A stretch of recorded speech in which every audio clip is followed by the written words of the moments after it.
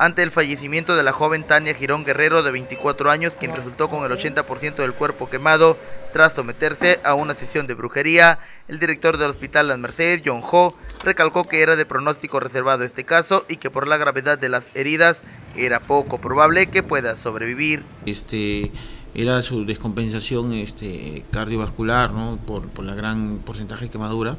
Lastimosamente este, tratamos de hacer infructuosamente las, las, las, derivaciones porque lo que necesitaba la paciente era una unidad especializada para tratar de hacer lo más pronto posible, bueno en ese momento eran los injertos ¿no? y necesitamos unidad especializada.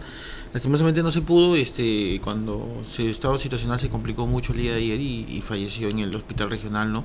a causa de un proceso infeccioso.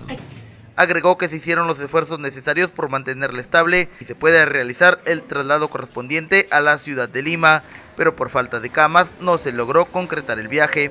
La fallecida mujer no pudo expresar qué fue lo que realmente ocurrió el fin de semana en el que habría decidido someterse a esta sesión de chamanería. Nunca pudo decir nada, declarar nada, no, no, no pudo hablar ya. Eh, no, al menos que yo sepa, no, no sé si la, la, las autoridades le, le, le le hicieron este alguna alguna toma de declaraciones, no eso sí no no no me, no me confirmaron.